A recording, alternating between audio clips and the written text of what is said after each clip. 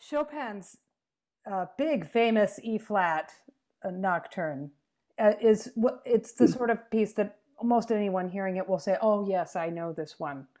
Is there a reason why it's so enduring or so particularly memorable? Yeah, I think the reason it's so enduring is that it's simply one of the most beautiful melodies ever written.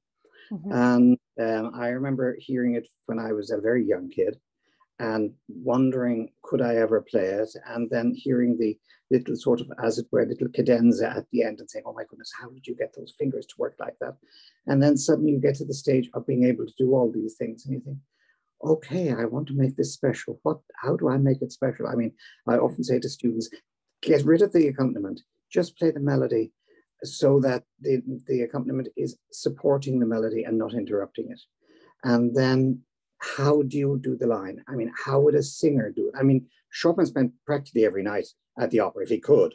I mean, he went to operas all the time, and he kept on saying, like Mozart in his letters, that um, you should imitate the human voice. And I'm a frustrated singer. I mean, I'm a terrible singer.